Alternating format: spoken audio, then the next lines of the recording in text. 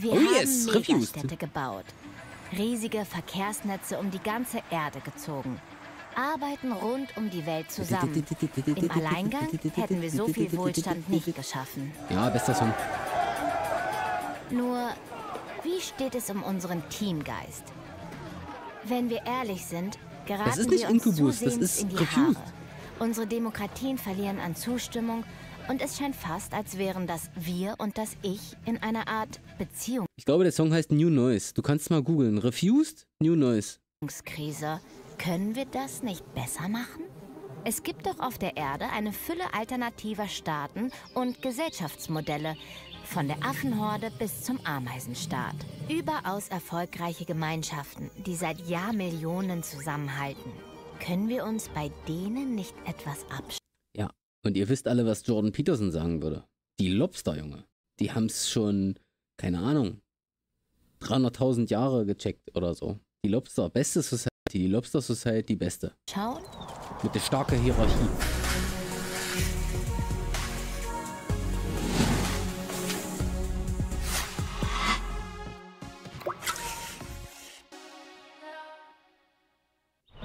Wann habt ihr zuletzt so enthusiastisch was für eure Gemeinschaft gemacht wie diese Ameisen? Gute Frage. Die sammeln Nahrung nicht für sich, sondern für alle. Da fragt keiner, was kann der Staat für mich tun? Fucking Und wir. Menschen? Sagen wir es mal so. Die Inflation, der Klimawandel, die Pandemie und die Kriege. Das macht ziemlich Angst vor der Zukunft. Da schauen viele auf sich. Genau, aber da gucken, das interessiert uns jetzt nämlich gar nicht. Da, das, das wollen wir in dieser Sendung gar nicht beleuchten. statt auf die Gemeinschaft. Wir haben euch gefragt, wie geht es der Demokratie in Deutschland bzw. in Frankreich? Dass sie gut funktioniert, das finden 15% in Deutschland, nur 8% Lol. in Frankreich. Die große Mehrheit sagt, dass wir etwas verändern müssen, um sie vital zu halten. Oder dass ihr Überleben sogar gefährdet ist. Geht das irgendwie besser? Also die Menschheit vergleicht sich seit Jahrtausenden und zwar entweder mit Göttern und mit Tieren. Das sind, beide Vergleiche sind ganz interessant. Und bei Tieren, denken Sie an die Fabeln, dann da gibt es Bleibt halt auch nicht mehr viel übrig, ne? Mit Steinen sich zu vergleichen ist eher lame. viele Möglichkeiten, aber auch natürlich schon seit der, seit der Antike mit ähm, Insektengesellschaften, besonders mit Ameisen und mit Bienen. Und der interessante Unterschied besteht darin, dass eigentlich die Antike immer schon auf die Ameisen- und Bienengesellschaften als Völker schaut. Im Alten Testament findet man einen Spruch, Geh hin zur Ameise, du Fauler, sieh an ihr tun und lerne von ihr. Wenn sie auch keinen Fürsten, noch Hauptmann, noch Herren hat, so bereitet sie doch ihr Brot im Sommer und sammelt ihre Speise in der Ernte. Leute, die sowas studieren. Da verkneife ich mir mal jeglichen Kommentar jetzt. Gut, dass wir nur Leute haben, die einfach mal alte Bücher lesen und dann vorlesen können, oder? Bei den Ameisen wird nicht getrödelt oder gestritten, sondern das Staatsnotwendige ohne Hallo, Murren erledigt. Man interpretiert häufig in die Tiere was rein, was eigentlich an, an der Wirklichkeit sehr weit vorbeigeht. You don't say. Morph hat doch gerade ein Video dazu gemacht. Sehen wir überall Metaphern von höheren Strukturen, die gar nicht da sind. Und tatsächlich werden da viele Begriffe verwenden aus menschlichen Gesellschaften. Königin, Arbeiterin, Soldat, Kasten zum Beispiel auch. Und ähm, damit Longelbeutel, du hast diese Woche noch kein Buch gelesen? Kollege, die Woche ist in äh, dreieinhalb Stunden zu Ende. Fang mal lieber an. macht man häufig den Einstieg leichter. Aber es ist auch so, dass natürlich eine Königin beim sozialen Insektenstaat was ganz anderes ist als eine Königin in menschlichen Gesellschaften. Alle Königinnen genießen gewisse Privilegien. Das stimmt. Die Königin bei den Ameisen ist ja so richtig voll am Arsch, ne?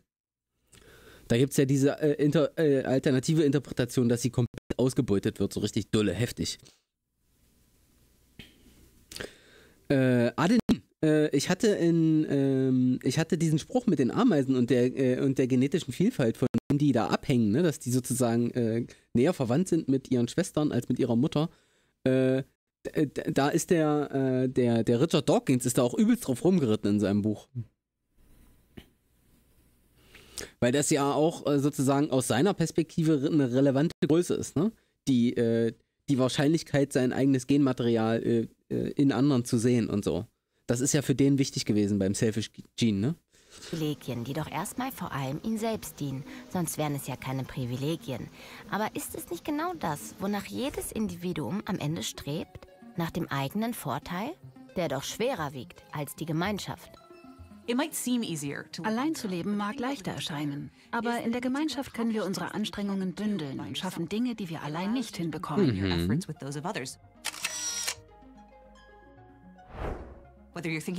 Ob das die Verteidigung des Lebensraums gegen Fremde ist oder die Suche von Nahrung in kargen Gegenden, wo man nimmt, was man kriegen kann.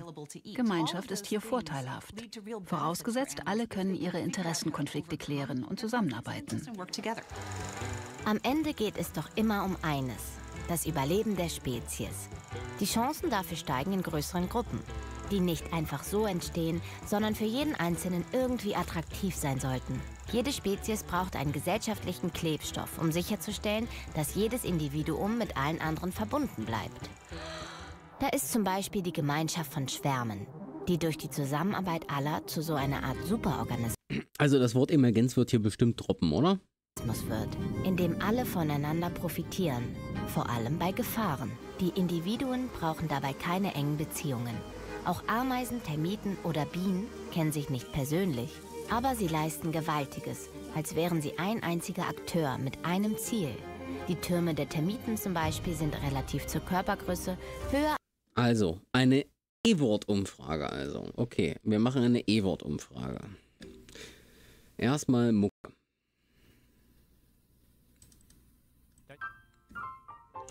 Ähm, Abstimmung. Neue Abstimmung. Emergenz?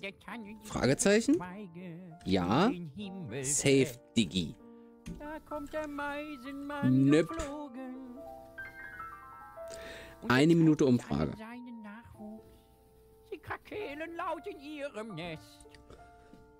Ich sag ja, das Wort Emergenz kommt. Doch für den Mann, da bleibt kein Recht.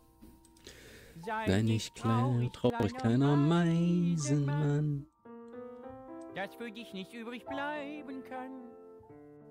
Deine Kinder haben Hunger, sie wollen essen. Das darf man nicht vergessen.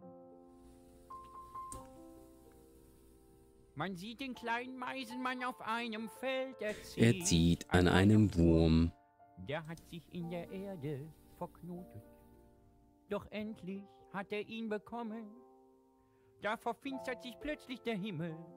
Und ein Mann mit einem langen Bart guckt aus, Guckt aus einer Wolke, Und er hebt seinen Finger, den, den er hochgehoben hat. Sei nicht sauer, kleiner Meisenmann. Okay, Dass du den Wurm nicht mit nach Hause nehmen kannst. Und einer Hallo, Kniebeugen. also ihr sagt, auf keinen Fall kommt hier das Wort Emergenz vor. Na gut.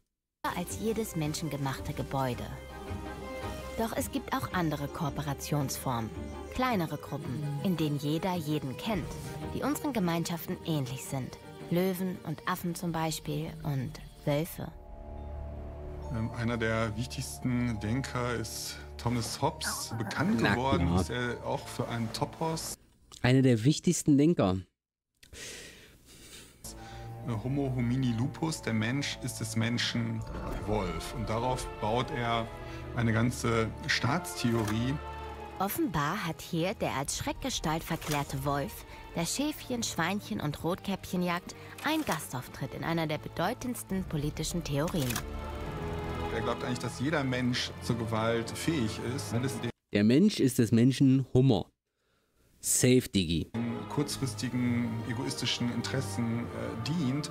Und äh, deshalb muss man eigentlich dafür sorgen, äh, dass die Gesellschaft ähm, sozusagen äh, mit Gewalt, eigentlich mit der Androhung von Gewalt, also zur Raison gebracht wird. Und deshalb braucht man einen starken, eine starke Autorität. Wenn das nicht nach Allmachtsfantasien aufgrund eines ziemlich schlechten Menschenbilds klingt. Doch was ist überhaupt dran an dem Klischee des bösen Wolfs? They're not these aggressive, Wölfe sind gar nicht diese aggressiven Einzelgänger. Sie leben in einem engen Familienverband. Sie spielen miteinander. Kleine Hundebabys. Und sie arbeiten bei der Jagd und bei der Aufzucht der Jungen zusammen. Sie leben in eng verwobenen Gemeinschaften. Rudel sind Familienverbände. Aber wer Geschwister hat, der weiß, auch da kann es um knappe Ressourcen, Hauen und Stechen gehen. Auch im Rudel, dem Staat des Wolfs, muss es doch Regeln geben. Of course, Klar, ihr Ruf kommt nicht von ungefähr. Aber auch da würde ich schon, ich würde schon intervenieren. Ne? Ich würde sagen, auch da erzeugt dieses, das Hauen und Stechen wird erzeugt dadurch, dass es da eine obere Machthierarchie gibt, die Befehlsgewalt hat und Regeln erlässt und so. Ich glaube, daher kommt das. Wölfe haben starke, auf Dominanz gebaute Hierarchien. Also ich meine jetzt bei Kindern. Ne? In denen Alpha-Männchen und Weibchen in der Rolle der Eltern schon sehr stark bestimmen, was das Rudel macht. Aber in gewisser Hinsicht profitiert die ganze Gruppe von dieser sozialen Kontrolle. Ja, Gemeinschaft ist dem Überleben dienlich, auch wenn sie nerven kann. Aber muss man Individuen zu ihrem Glück zwingen? Aggression und Dominanz sind keine Grundbedingungen für Tierstaaten. Stellt euch einen Affen vor, der an seinem Schwanz hängt. Das ist ein Klammeraffe. Diese Tiere leben in Gesellschaften, die weniger auf Aggressionen und mehr auf positiven sozialen Bindungen aufbauen. Das geht, weil diese Gesellschaften sich finden und wieder auflösen können, je nach Nahrungsangebot und je nach den Bedingungen ihres Lebensraums. Ach was. Das klingt ja total nach dieser Idee, die ich auch schon mal formuliert hatte, ne? dass wenn man jetzt so ein diese naive Vorstellung hat, von wegen, wir haben hier eine, ein großes Plenum und äh, wir haben eine Mehrheitsentscheidung, müssen wir auf jeden Fall forcieren. Und jetzt gibt es aber die Sache, dass 50-50 steht und man kann sich nicht einigen. Dann wäre doch der normale, gewöhnliche Vorschlag, teilt euch einfach auf, werdet einfach zwei Gruppen und guckt einfach mal, was passiert. Jeder macht, jede Gruppe macht seine Strategie und dann kann man ja immer noch äh, darüber hinterher mal Daten austauschen und äh, eine Kultur entwickeln und so. Ne? Schadet ja nicht. Und es ist ja nicht unbedingt erforderlich, dass man ständig sozusagen diese zentralisierte Entscheidungsfindung haben muss. So. Kann ja eigentlich abhängig vom, von der Problemstellung sogar sein. Sort of what the context in which they find themselves in dictates. Ein bisschen mehr Love and Peace, das wäre schon reizvoll. Hallo, Aber Uwe. mal ehrlich, so schön das klingt, ist nicht gerade unser Bedürfnis nach stetiger Versorgung und Sicherheit, mit anderen Worten Stabilität, entscheidend? Sehnen wir uns nicht geradezu nach Hierarchie? Wenn wir mal die Animationsfilme Klar. unserer Kindheit unter die Lupe nehmen. Braucht es neben der sozialen Rangfolge im Rudel nicht auch einen klassischen Anführer? Auch die, das Wording ist auf jeden Fall tendenziell, ne? Sie sagen, sehnen wir uns danach? Und übrigens, guck mal, mit diesen Kinderfilmen wurden wir schon indoktriniert. Den König, der die Richtung vorgibt? Wir haben eine Studie gemacht, bei der wir in Kenia eine Horde Paviane GPS-Sender umgeschnallt haben. Wir haben erwartet, wenn das Alpha-Männchen etwa hier zu den Felsen will, dann zerrt es alle anderen mehr oder minder hinter sich her. Dass das Alpha-Männchen quasi als Despot für die ganze Gruppe entscheidet. Aber es war ganz anders. Äh, was habe ich gesagt? Habe ich tendenziös gesagt oder ist tendenziös falsch? Tatsächlich haben wir beobachtet, dass Richtungsentscheidungen ganz einfach demokratisch getroffen werden. Wenn das Alpha-Männchen zu den Felsen Ach, gehen wollte, Ja, aber andere Affen in die Ebene, dann folgte der Rest einfach der Mehrheit. Und das Alpha-Tier kam irgendwann hinterher. Was wir festgestellt haben, basisdemokratische Prozesse haben bessere Ergebnisse erzeugt als Entscheidungen einzelner Individuen. Ja, das stimmt natürlich. Daran merkt man definitiv, dass ich zu wenig lese. Richtig, richtig, richtig, richtig. Wenn sich also Grundzüge einer demokratischen Grundordnung sogar evolutionsbiologisch bewährt haben, zumindest in der Gemeinschaft der Paviane, welche Kriterien sind es, die für ihre Aufrechterhaltung sorgen? Damit so eine Gruppe stabil ist, müssen alle Individuen so viele Vorteile haben, dass es klüger ist zu bleiben. Deswegen braucht es eine Form der Gleichberechtigung. Alle müssen profitieren. Bei extremer Ungleichheit beginnen Gesellschaften zu bröckeln. Der Ratschlag der Tiergruppen wäre also simpel. Lasst die Schere zwischen Arm und Reich nicht zu weit aufgehen. Achtet darauf, dass der Wohlstand fair verteilt wird. Dann erwärmen sich auch mehr Individuen. Aber das würden doch die Märkte von alleine tun. Wenn die Staaten immer eindrücken würden, dann würde das alles perfekt aufgehen. Wieder für Staat und Gemeinschaft. Wir sind den Tier. Ich habe, äh, ich habe, ich fange ja an, ich lese ja immer mehr äh, neoklassische äh, Theorie und äh, das ist so klar. Gemeinschaften ähnlicher, als uns oft bewusst ist. Was den antiken Philosophen Aristoteles nicht verwundert hätte, für ihn ist der Mensch sowieso ein Tier, ein politisches, ein Zoon Politikon. Und das ist ja interessant, dass Aristoteles jetzt also bei der Analogie des politischen Tiers gar nicht auf Wirbeltiere zu sprechen kommt, sondern eben auf Ameisen und Bienen. Und zwar deswegen, weil sie etwas mit uns gemeinsam haben. Und das ist eben, dass sie staatenbildend sind, eine Polis bauen. Und die Polis ist selbst äh, in der Antike schon immer viel komplexer als eine andere tierische Ordnung, etwa als ein, ein Rudel oder als eine Herde. Dass Bienen eine komplexere Gesellschaft pflegen, das drängt sich schon beim Anblick eines Bienenstocks auf. Der wirkt wie eine Kleinstadt für ein paar Zehntausend enorm betriebsame Einwohner. Was eine einzelne Biene äh, für ihre Gemeinschaft, für ihre Kolonie leistet, ist beeindruckend. Ähm, Bienen können teilweise bis zu 30 Mal am Tag ausfliegen, besuchen dann mehrere hundert Blüten und in der Tat um so ein Glas 500 Gramm Honig äh, dissipativ bedeutet, dass da Reibung im System ist und dadurch ständig äh, Energie verliert. Ähm, zusammenzutragen, fliegen Bienen 120.000 Kilometer. Das ist also dreimal um den Planeten um. Das sieht PS, das bedeutet, wenn die Lagrange-Funktion explizit von der Zeit abhängt. Das ist meistens so. Man erst, wie viel Einsatz eine einzelne Biene oder eben der ganze Staat für die Gemeinschaft leistet. Dabei füllen die Bienen dank dieser Vielfliegerei ja nicht ihren privaten Vorrat auf, sondern den der Allgemeinheit. Sei wie die Biene, haben sich schon die alten Griechen und Römer gedacht. In deren Schriften waren Bienen unter anderem Symbole für Fleiß und Sparsamkeit, für Wehrhaftigkeit und Tapferkeit, Hallo, Reinheit und Jungfräulichkeit und natürlich für staatliche und gesellige Ordnung. So ein Bienenstock ist ein sehr komplexes Zusammenleben von verschiedenen Tieren und die spezialisieren sich auch auf verschiedene Tätigkeiten. Also man findet da natürlich die Tiere, die ausfliegen und Honig sammeln oder Nektar sammeln, aber es gibt auch eben welche, die Honig produzieren, es gibt welche, die Wachs produzieren, es gibt ähm, die, die die Larven versorgen, die Königin versorgen, die das Nest verteidigen. Der Bienenstaat erinnert an eine Burg im Mittelalter, inklusive der arbeitsteiligen Gesellschaft darin. Aufstände scheint es da nicht zu geben.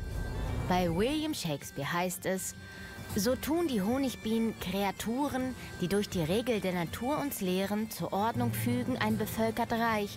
Sie haben einen König und Beamte.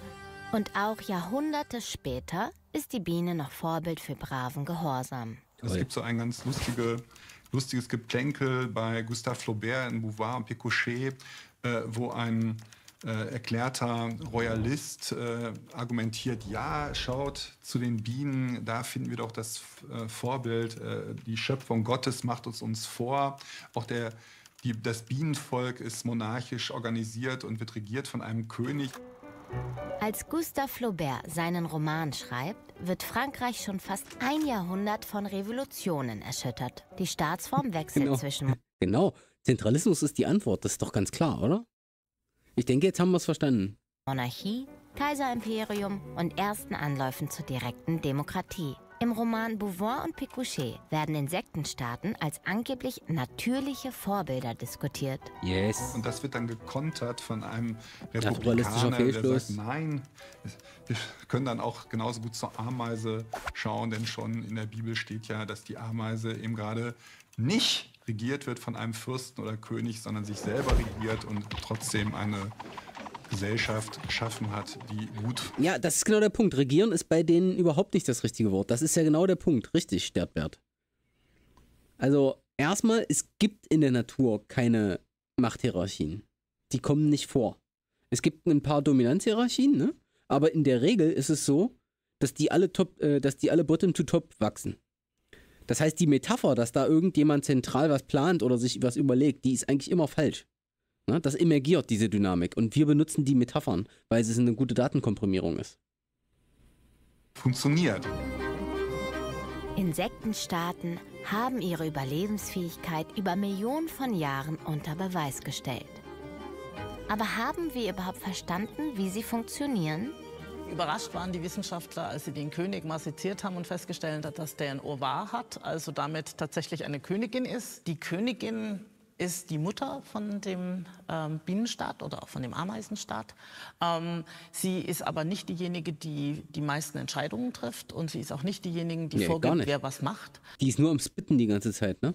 Die ist einfach nur am, äh, ihr wisst schon, Zellteilung. Ähm, sondern man kann sie eigentlich auch ähm, mehr so als den Eierstock sehen. Also sie legt die Eier, ähm, aber alle anderen Entscheidungen werden eigentlich von den Arbeiterinnen getroffen. Insektengesellschaften haben etwas von Amazonreichen. Das gilt für Bienen wie auch für Ameisen. Es sind die Töchter, die alles am Laufen halten. Männer sind dagegen nur kurzlebige Samenspender. Diese Reiche voller Arbeiterinnen, da war der Demokrat in Gustav Flauberts Roman näher an der Wahrheit, haben keine zentrale Herrscherin. Sie sind selbstorganisierend. Wenn man aus dem Flugzeug schaut auf die Landschaft, die unter einem sich ausbreitet, dann sieht man Städte, Straßen, man sieht äh, Felder. Und äh, wenn wir Wissenschaftler uns aber die Ameisen anschauen, da sehen wir auch verschiedene kleine und große Kolonien. Wir sehen Straßen, die ähm, die Ameisen anlegen, um zu bestimmten Nahrungsquellen zu kommen. Wir sehen teilweise eben auch, dass sie Landwirtschaft betreiben. Das heißt, viele der Elemente, die in menschlichen Gesellschaften entstehen, finden wir auch, wenn man genau hinguckt, bei den Ameisen. Moment mal. Dass wir vor ein paar tausend Jahren Ackerbau und Viehzucht erfunden haben, gilt als der Durchbruch auf dem Weg zu unserer modernen Gesellschaft. Weil wir Nahrung nicht mehr gesucht, sondern angebaut haben, konnten wir wachsen, Städte bauen. aka Patrilokalität. Staaten gründen. Wir, die Menschen, aber Ameisen? Es gibt tatsächlich welche, die vor 50 Millionen Jahren, also lang bevor es die Menschen gab, eine Form von Landwirtschaft erfunden haben. Die Plattschneiderameisen in Südamerika tragen Blättermaterial ein und züchten in riesigen unterirdischen Nestern ähm, Pilze, von denen sie sich ausschließlich ernähren. Sie yes. versorgen ihn, sie düngen ihn und sie ernten natürlich und davon leben sie. Es gibt andere Ameisen, die halten sich Blattläuse, so ähnlich wie wir Vieh. Sie verteidigen sie gegen Räuber, wie zum Beispiel die Marienkäfer, und sie melken sie und sie nehmen damit Zuckerwasser ab, das die Blattläuse ausscheiden. Ich glaube, das war auch im Selfish Gene schon äh, drin und das hat auch nochmal Robert Sapolsky in seinem Buch auch nochmal irgendwo erklärt mit den Ameisen. Ähm, und man kann das eigentlich auch als eine Art von Viehzucht sehen. Ameisenstaaten ermöglichen Dinge, die auch wir von einem guten Staat erwarten. Eine stabile Nahrungsversorgung.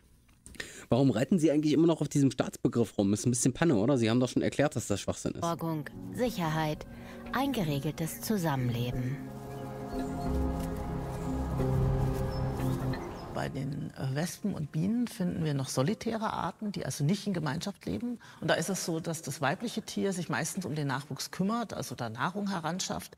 Aber natürlich kann sich diese Mutter nur, kann nur eine Sache gleichzeitig machen. Entweder das Nest verteidigen oder auf Nahrungssuche gehen. Und weil das so ist, hat sich bei gemeinschaftlich arbeitenden Bienen eine ziemlich radikale Lösung durchgesetzt.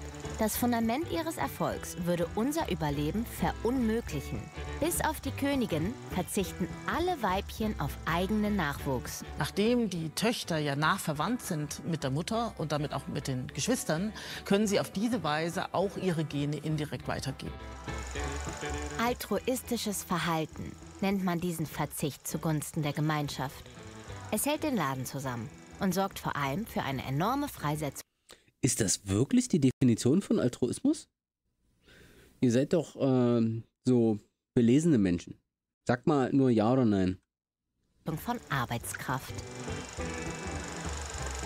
Und das ist ein Erfolgsmodell, was dazu geführt hat, dass es auf diesem Planeten ähm, wahrscheinlich mehr soziale Insekten gibt als irgendwelche anderen. Gut.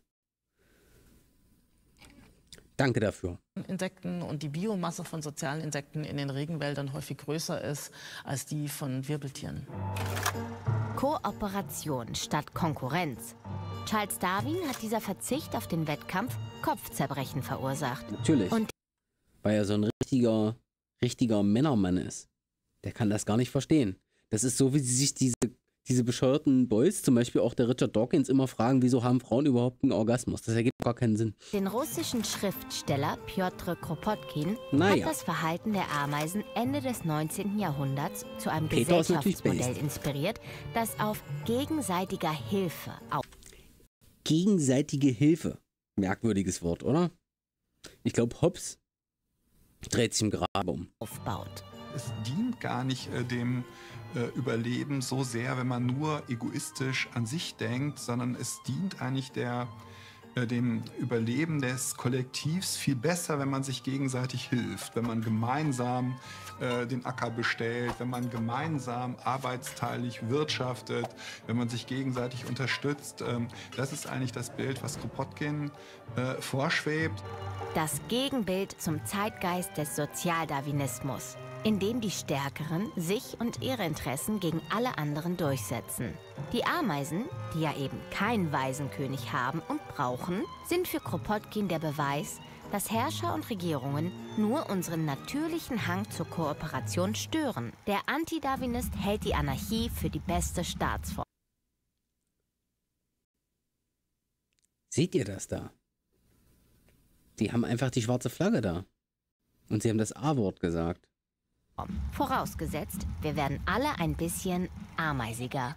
Für das Individuum bedeutet natürlich, dass sie sich dem dann auch unterordnen müssen, insofern, dass sie ja bereit sein müssen, ihre kurzfristigen privaten Interessen zurückzustellen und dem gemeinsamen Wohl, dem Gemeinwohl jetzt äh, sozusagen zu unterstellen. Das wäre eigentlich sozusagen das Gesellschaftsbild, was damit äh, transportiert wird. Das ist doch die Kernfrage für uns alle. Wie tarieren wir unsere eigenen... Ja, zeigen, zeigen einfach nur zwei Clips von Material Girls. Interessen und die der Gesellschaft, in der wir leben, richtig aus. Also wenn sich das Individuum sollen uns diese Bilder suggerieren. Also ich bin ja niemand, der sowas macht normalerweise. Ne? Jetzt so auf äh, auf diesen Schwachsinn so steil gehen und sich zu fragen, was das jetzt bedeuten soll. Aber in dem Fall, ne? Nochmal zurück. Also, hier wird jetzt so gesagt, ne? Belohnungsaufschub, kollektiv. Damit äh, transportiert wird. Das ist doch die Kernfrage für uns alle. Das ist die Kernfrage. Wollen wir jetzt noch einfach noch mehr 18-jährige Topmodels ausbeuten? Weiterhin? Aber nur ein paar und die anderen erzählen uns davon auf, auf Twitter und TikTok und dann und dann ist das das Ziel, was wir alle haben, auch wenn es nur ganz wenige erreichen können oder was wollen wir jetzt? Wie tarieren? Guck mal, weil da ist jetzt der Hassel, ne? Da wird jetzt der Hassel abgebildet, aber wir tun das. Was damit äh, transportiert guck, Also nochmal, das ist jetzt die, das ist das the goal. Ist doch ne? die Völlig ekelhaftes Zuckerfrühstück auf einem Infinity Pool irgendwo im Urwald mit irgendeiner so Pornotussi. Kernfrage für uns alle. Ah, jetzt ist nochmal Pornotussi. Wie tarieren das ist der wir unsere eigenen Interessen und die der Gesellschaft, in der wir leben, richtig aus? Da ist nochmal die Tussi. Da ist jetzt die Skyline, ne? Ist auch wichtig.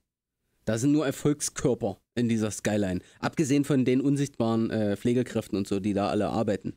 Aber die, die, die haben keine Glory die wir filmen können. Also wenn sich das Individuum aufopfern soll für die Gesellschaft, dann ist man wirklich schon im äh, Nationalsozialismus, in der Entomologie der 20er und 30er Aha. Jahre wurde das vorbereitet. Die Ameise war da gerade nicht das republikanische Tier, sondern sie war das politische Tier, was sich bedingungslos äh, und vollkommen unter... Aha. Ja, Babsi, wir erinnern uns. Wenn wir zusammen in den Wald gehen, ist das schon Faschismus. Verordnet und deswegen die totale Gesellschaft zum Erfolg führt. Eine Gesellschaft, in der alle Bürger soldatisch gleichförmig sind. Gut, das wäre das andere Extrem, das zwar immer wieder versucht wurde, aber nie wirklich funktioniert hat. Hm. Widerstand und Fast so wie Kapitalismus, oder? Eigensinn hat es immer gegeben, genau wie bei den Ameisen. Ameisen zeigen sehr stark selbstloses Verhalten, aber es ist nicht so, dass sie einzelne kleine Roboter sind, die alle sich gleich verhalten. Es gibt manchmal. Assel, ich habe keine Ahnung von der Frankfurter Schule. Ich habe ja nicht gelesen auch Rebellen. Also wir haben das in mehreren Umständen gefunden. Bei Bienen findet man das teilweise, dass äh, Bienen äh, Arbeiterinnen Eier legen, obwohl es eine Königin da ist. Also ähm, ja, nicht jeder äh, hält sich an seinen vorgegebenen Platz, sondern manchmal gibt es auch ein Aufbegehren. Okay, Ameisen haben eine angeborene Tendenz zur Kooperation. Aber sie sind keine kleinen Automaten, sondern Individuen, deren hunderttausendfaches Handeln auch ohne Herrscher ein erfolgreiches was soll denn das heißen? Natürlich sind sie kleine Automaten. Sie haben doch erklärt, dass es keinen zentralen Herrscher gibt. Sie haben es doch vorhin erklärt. Wieso sagen Sie jetzt, reden Sie jetzt schon wieder von einem Herrscher? Insektenstaat entstehen lässt. Aber wie bringen Sie sich gegenseitig dazu, das Richtige zu tun? Emergenz! Mal gucken. Es, es, sind, es, sind ja noch, es sind ja noch ungefähr fünf Minuten jetzt, ne?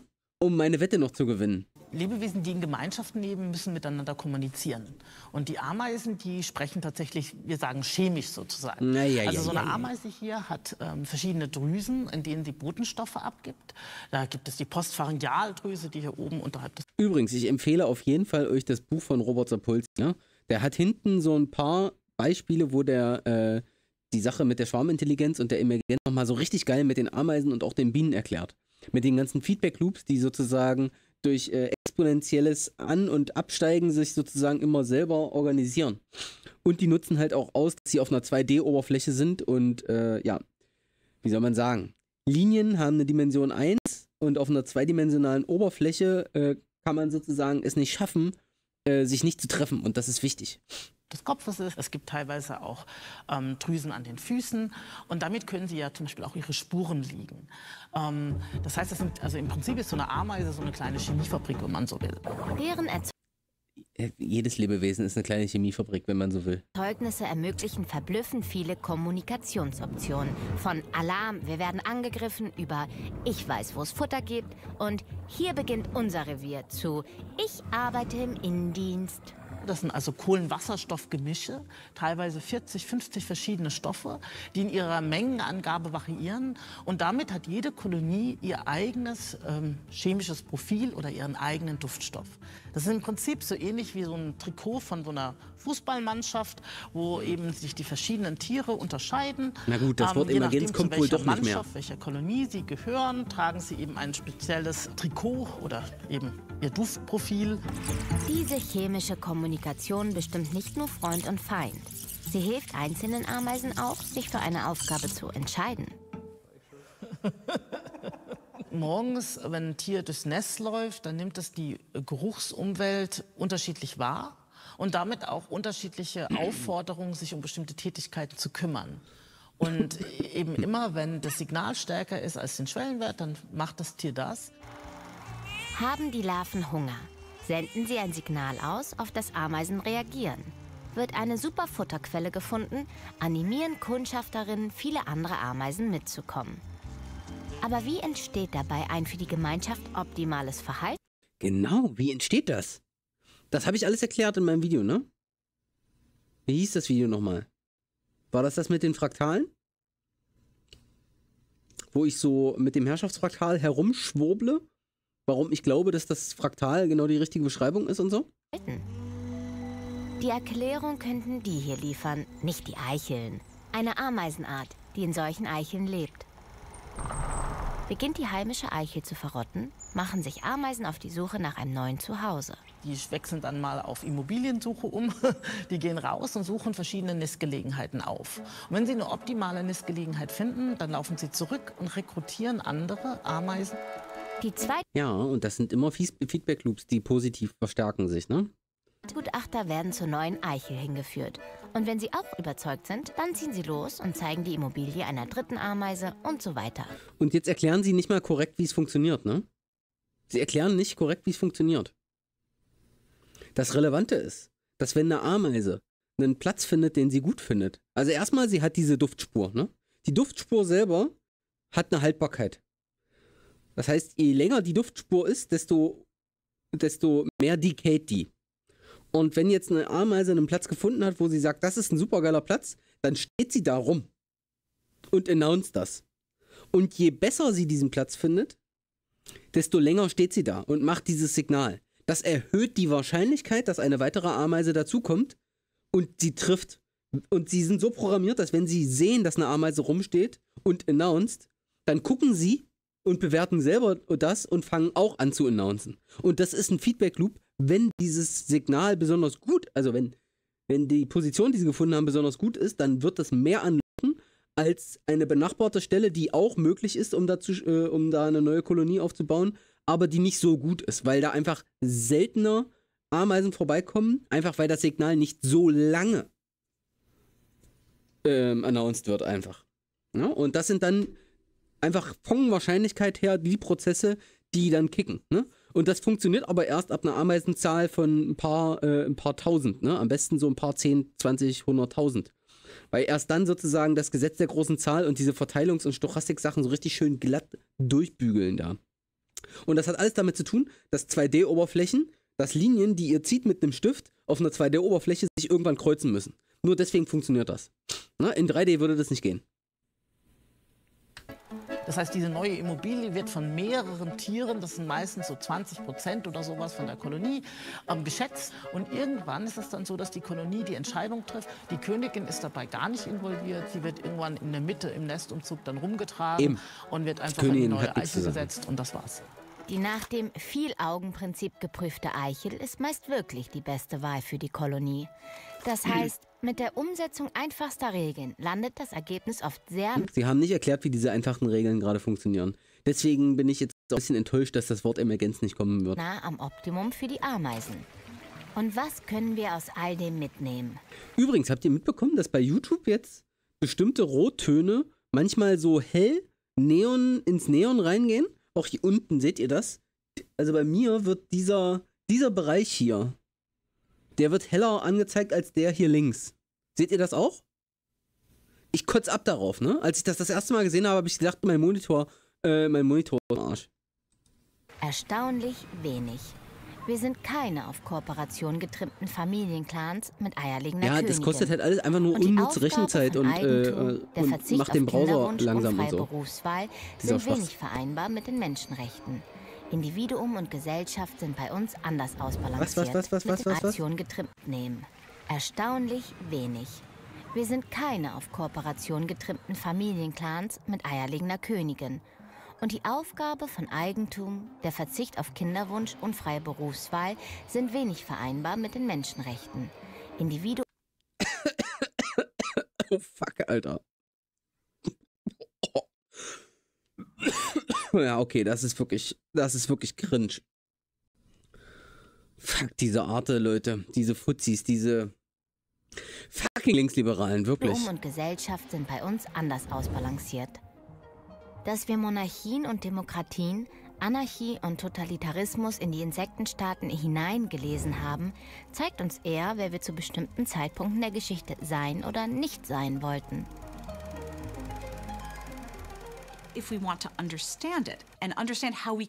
Wenn wir jemals verstehen wollen, wie wir zu einem so ungewöhnlichen Affen wurden, der so komische soziale Dinge tut, müssen wir in die Vergangenheit schauen und die evolutionären Muster verstehen, die uns dahin gebracht haben. Wir müssen einfach nur begreifen, dass wir viel, viel bessere Fähigkeiten haben, Geschichten zu erzählen. Das ist alles.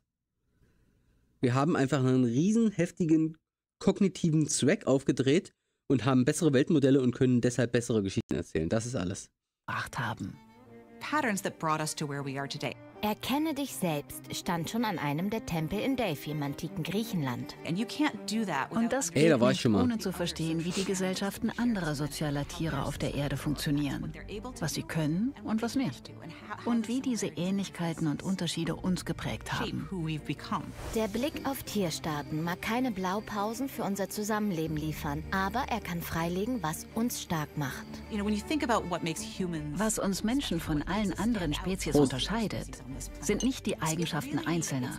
Es ist das, was passiert, wenn wir zusammenarbeiten. Wir sind eine Spezies, die sozial unglaublich anpassungsfähig ist und darauf besonders angewiesen. Wir lernen voneinander, inspirieren einander, wir bauen Ordnungen, die Generationen überdauern können, wenn wir zusammenhalten. Kultur liegt uns im Wesen. Wir sind ein kulturell begabter Affe. Mich stimmt das optimistisch. Denn das bedeutet, wir können ändern, wie wir uns verhalten und interagieren. Und wenn jemals eine Art fähig war, die Herausforderungen, vor denen unsere Gesellschaft heute steht, zu meistern, dann doch wir. Wir haben eine enorme Fähigkeit, unsere Zukunft zu gestalten. Wir müssen sie nur nutzen. Wenn äh, klärt mich mal auf, ist schon US-Wahl gewesen jetzt? Oder noch nicht?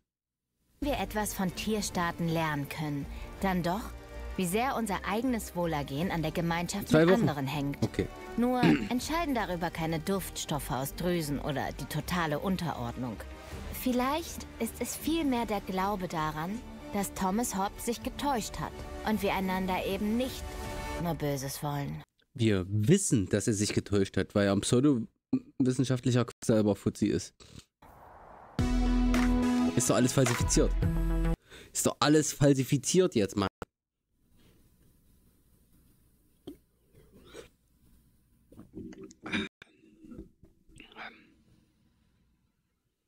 So.